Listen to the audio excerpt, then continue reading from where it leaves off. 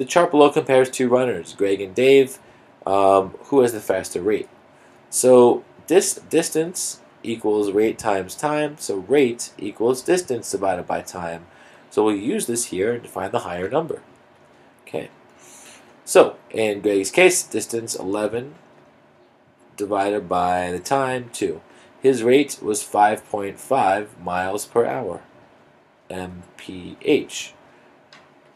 Greg is 16 divided by 3, which is certainly going to be a little bit smaller there, 5 and a third miles per hour. Greg has a higher rate. You can justify that, they ask you to justify by showing your work.